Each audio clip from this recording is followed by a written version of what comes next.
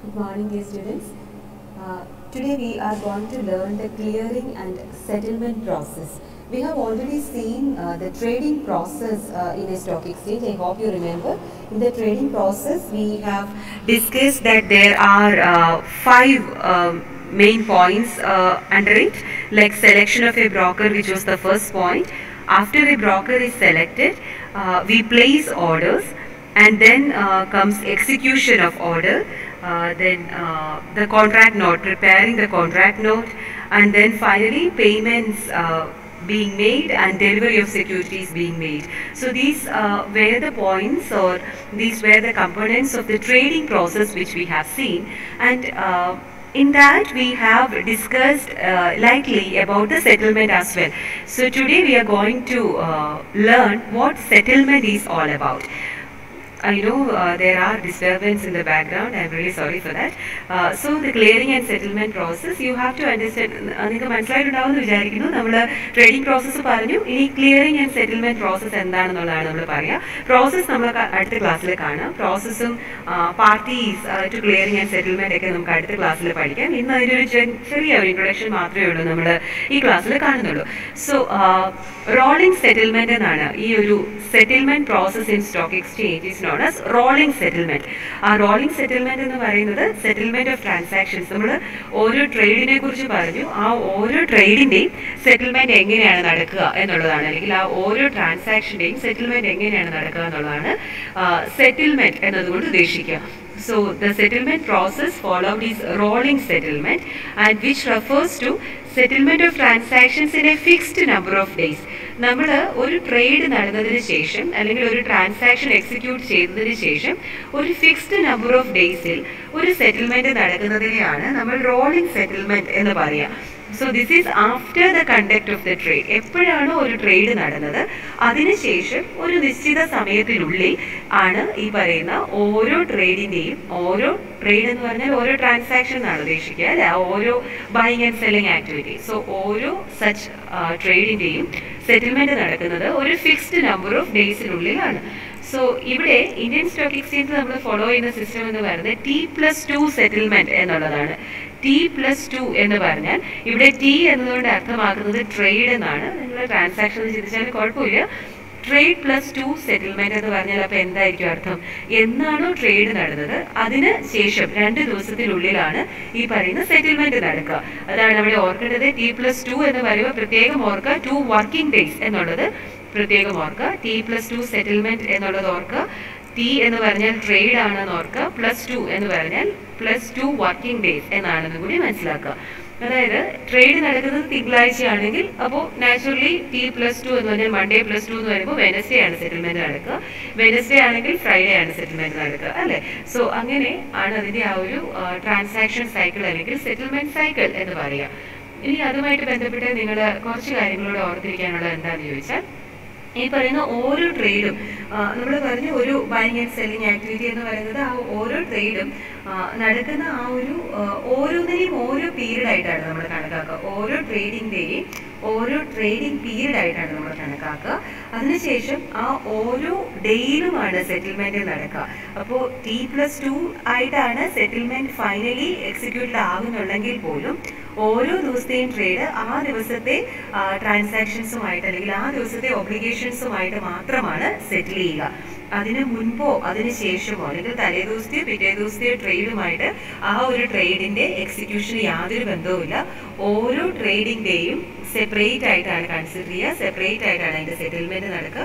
അവിടെ ഒരു carry forward എന്ന് പറയുന്ന ആ ഒരു രീതിയിലല്ല. അതാത് ദിവസം തന്നെ അതാത് ട്രേഡ് ഏത് ദിവസവുമായിട്ട് ബന്ധപ്പെട്ടാണോ അതുമായിട്ട് ബന്ധപ്പെട്ടാണ് അതിന്റെ സെറ്റിൽമെന്റ് നടക്കുക. അല്ലെങ്കിൽ അതിന്റെ ഫുൾ എക്സിക്യൂഷൻ നടക്കുക. ഓക്കെ ഇനി നമ്മൾ പറഞ്ഞത് പ്ലസ് ടു വർക്കിംഗ് ഡേയ്സ് എന്ന് പറഞ്ഞിരുന്നു അല്ലേ? അപ്പോൾ ആ വർക്കിംഗ് ഡേയ്സ് എന്ന് പറഞ്ഞാൽ ഹോളിഡേയ്സ് കുറച്ചുണ്ട് എന്നുള്ളത് നമുക്ക് നാച്ചുറലി മനസ്സിലാവും. ആ ഹോളിഡേയ്സ് ഒക്കെ എക്സ്ക്ലൂഡഡ് ആണ്. ഹോളിഡേയ്സ് ഒന്നും ഇതിനകത്ത് വരുന്നില്ല. ആ പ്ലസ് ടു വർക്കിംഗ് ഡേയ്സ് എന്ന് പറയുന്നതിൽ. സോ ഹോളിഡേ എന്ന് പറഞ്ഞാൽ all Saturdays and Sundays are excluded ആ പ്ലസ് ടുവിൽ സാറ്റർഡേയ്സും സൺഡേയ്സും വരില്ല. പിന്നെ ബാങ്ക് ഹോളിഡേയ്സ് എക്സ്ചേഞ്ച് ഹോളിഡേയ്സ് അങ്ങനെയുള്ള ഹോളിഡേയ്സ് എല്ലാം ഇതിൽ നിന്നും ഇന്റർവീനിങ് ഹോളിഡേയ്സ് എന്ന് പറഞ്ഞാൽ അതിന്റെ ഇടയിൽ വരുന്ന സാറ്റർഡേ സൺഡേ പബ്ലിക് ഹോളിഡേയ്സ് ആയിട്ടുള്ള ബാങ്ക് ഹോളിഡേയ്സ് എക്സ്ചേഞ്ച് ഹോളിഡേയ്സ് എന്നുള്ളതൊക്കെ ഒഴിവാക്കിയിട്ടാണ് നമ്മൾ പ്ലസ് ടു വർക്കിംഗ് ഡേയ്സ് കണ്ടുപിടിക്കുക. ഇനി ഈ ഒരു റോളിംഗ് സെറ്റിൽമെന്റിന്റെ ഒരു ബെനിഫിറ്റ് എന്താണെന്ന് ചോദിച്ചാൽ ആ റിസ്ക് ഓഫ് സെറ്റിൽമെന്റ് എന്ന് പറയുന്നത് വളരെ കുറവാണ് എന്നാണ് റോളിംഗ് സെറ്റിൽമെന്റിന്റെ ഒരു ബെനിഫിറ്റ് അതായത് എന്താ? റിസ്ക് ഓഫ് സെറ്റിൽമെന്റ് എന്ന് പറഞ്ഞാൽ സെറ്റിൽമെന്റ് നടക്കണമെങ്കിൽ ആക്ച്വലി എന്ത് വേണം? സെക്യൂരിറ്റീസും സ്റ്റോക്ക് എക്സ്ചേഞ്ചിലേക്ക് വരണം ഫണ്ട്സും സ്റ്റോക്ക് എക്സ്ചേഞ്ചിലേക്ക് വരണം അല്ലേ? സോ ആരെ സെക്യൂരിറ്റീസ് കൊണ്ടുവരേണ്ടത്? ആരാണോ വിൽക്കുന്നത് അവർ സെക്യൂരിറ്റീസ് സ്റ്റോക്ക് എക്സ്ചേഞ്ചിലേക്ക് കൊണ്ടുവരണം. ആരാണോ വാങ്ങുന്നത് അവർ ഫണ്ട്സും സ്റ്റോക്ക് എക്സ്ചേഞ്ചിലേക്ക് കൊണ്ടുവരണം അല്ലേ? സോ ഈ ആക്ടിവിറ്റി എല്ലാം നടക്കുന്നുണ്ട് എന്ന് എൻഷുർ ചെയ്യുന്നുണ്ട് ഈ റോളിംഗ് സെറ്റിൽമെന്റിൽ അത് എങ്ങനെയാണെന്ന് ചോദിച്ചു കഴിഞ്ഞാൽ നമ്മൾ അതിനകത്ത് കുറെ പാർട്ടീസ് ഉണ്ടെന്നൊക്കെ നമ്മൾ കാണും. ക്ലിയറിംഗ് ഹൗസ് അല്ലെങ്കിൽ ക്ലിയറിംഗ് കോർപ്പറേഷൻ ആണ് അതിന്റെ ഏറ്റവും മേജർ പാർട്ടി അത് നമുക്ക് അടുത്ത ക്ലാസ്സിൽ കാണാം. പാർട്ടീസ് ടു സ്റ്റോക്ക് നിങ്ങളുടെ എക്സ്പ്ലെയിൻ ചെയ്യാത്തതുകൊണ്ടാണ് ഞാൻ ഇതിങ്ങനെ ഡിവൈഡ് ചെയ്ത് ഡിവൈഡ് ചെയ്ത് പഠിപ്പിക്കുക. So parties to stock exchange എന്നുള്ള ഒരു ആസ്പെക്ട് നമുക്ക് നെക്സ്റ്റ് ക്ലാസ്സിൽ കാണാം. ദെൻ ഒരു പാർട്ടീസ് ടു സ്റ്റോക്ക് എക്സ്ചേഞ്ച് എന്ന് പറഞ്ഞാൽ parties to settlement of stock exchange then the settlement process അത് രണ്ടും നമുക്ക് ഡീറ്റെയിൽ ആയിട്ട് അടുത്ത ക്ലാസ്സിൽ നോക്കാം. അപ്പൊ ഇപ്പൊ മനസ്സിലാക്കേണ്ടത് സെറ്റിൽമെന്റിൽ റിസ്ക് ഇല്ല എന്ന് പറഞ്ഞു കഴിഞ്ഞാൽ അവിടെ എന്ത് സംഭവിക്കുന്നുണ്ട്? കാര്യങ്ങളൊക്കെ സ്മൂത്ത് ആയിട്ട് നടക്കുന്നുണ്ട്. അപ്പൊ എന്തൊക്കെയാണ് കാര്യങ്ങൾ എന്ന് പറയുക ബയേഴ്സിന് സെക്യൂരിറ്റീസും കിട്ടണം. സെല്ലേഴ്സിന് അതിനുള്ള ക്യാഷും കിട്ടണം. അത് കിട്ടുന്നുണ്ട് എന്ന് ഉറപ്പ് വരുത്തുന്നുണ്ട് ഈ റോളിംഗ് സെറ്റിൽമെന്റ് ഇനി ഇതിൽ രണ്ട് ഇമ്പോർട്ടന്റ് വേർഡ്സ് ഉണ്ട്. നമ്മൾ കഴിഞ്ഞ ക്ലാസ്സിൽ പ്രോസസ്സ് പഠിച്ചപ്പോൾ ഒന്ന് പറഞ്ഞു പോയതാണെന്ന് തോന്നുന്നു. പേ ഇൻ ഡേയും പേ ഔട്ട് ഡേയും ഇത് വളരെ ഇമ്പോർട്ടന്റ് ആണ്. ആ, ഒരു കോൺസെപ്റ്റ് മനസ്സിലായാൽ നിങ്ങൾക്ക് ഈസിയാണ് വയനാട്ടിൽ ചെയ്യാൻ നോക്കണ്ട.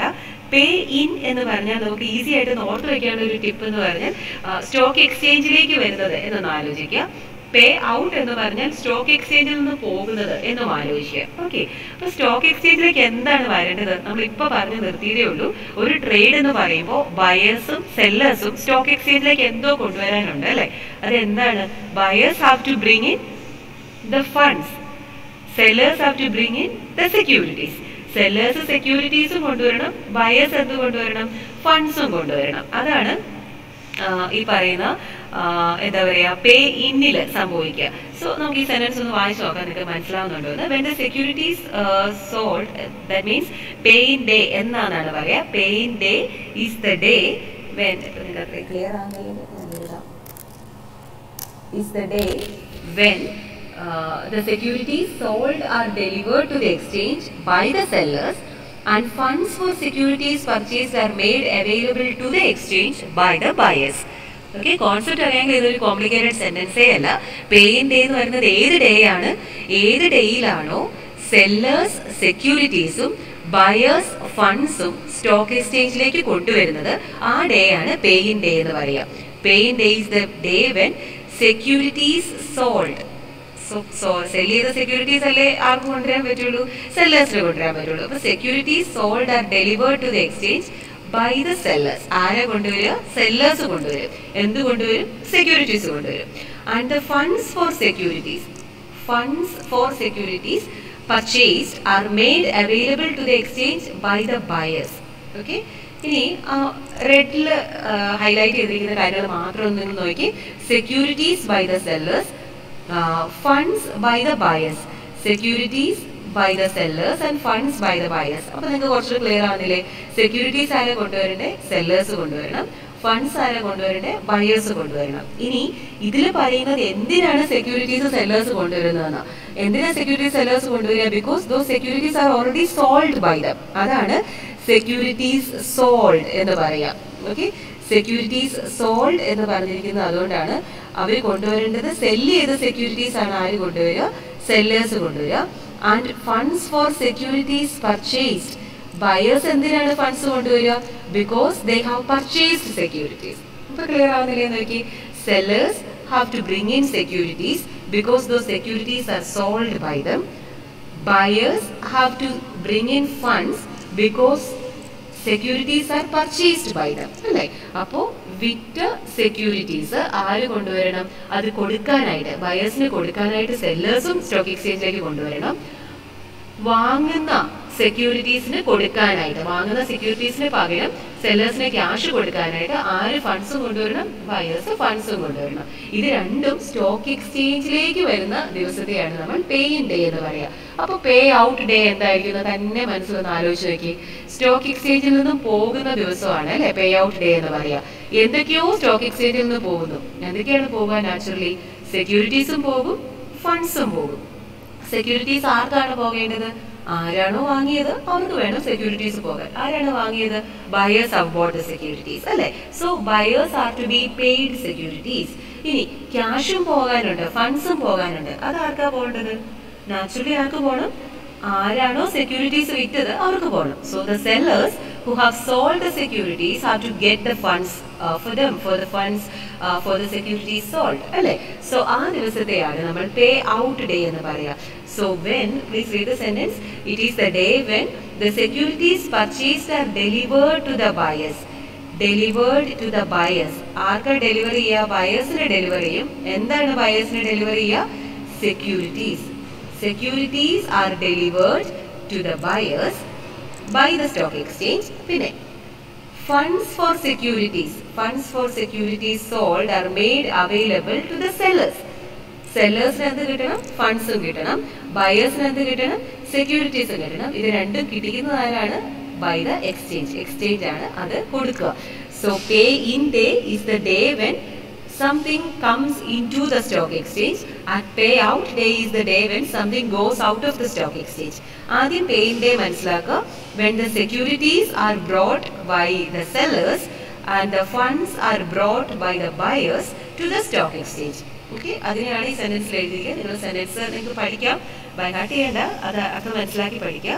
പേ ഔട്ട് ഡേ എന്ന് പറഞ്ഞാൽ securities are given or made available to the buyers delivered to the buyers because they have purchase the securities funds are made available to the sellers because they have sold the securities okay so ഇതിനെയാണ് നമ്മൾ pay out എന്ന് പറയാം. ഇത്രയും കാര്യങ്ങൾ നമ്മൾ ഇന്ന് പഠിക്കുന്നുള്ളൂ. ഇത് കുറച്ച് പേർക്കെങ്കിലും പുതിയതായതുകൊണ്ടാണ് ഞാൻ ഇതുകൊണ്ട് അവസാനിപ്പിക്കുക.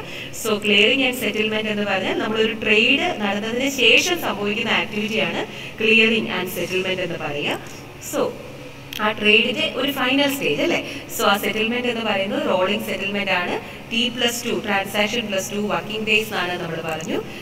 ഓരോ ട്രേഡും അതാത് ഡേയിലെ ഓബ്ലിഗേഷനുമായിട്ടാണ് സെറ്റിൽ ചെയ്യാൻ നമ്മൾ പറഞ്ഞു. റിസ്ക് ഓഫ് സെറ്റിൽമെന്റ് കുറവാണ്. ഇന്റർവീനിങ് ഹോളിഡേയ്സ് ഒക്കെ നമ്മൾ എക്സ്ക്ലൂഡ് ചെയ്യും. പേയിന്റെ പേ ഔട്ട് ഇത്രയും കാര്യങ്ങളൊക്കെ മനസ്സിലാക്കുക. Okay so thank you so much for listening learn well make a note out of this slides നിങ്ങൾക്ക് ഇത് ടെക്സ്റ്റിൽ ഇങ്ങനെ എക്സ്പ്ലെയിൻ ചെയ്തിട്ടില്ല. So make sure that you are making a note out of this and submitting it okay thank you so much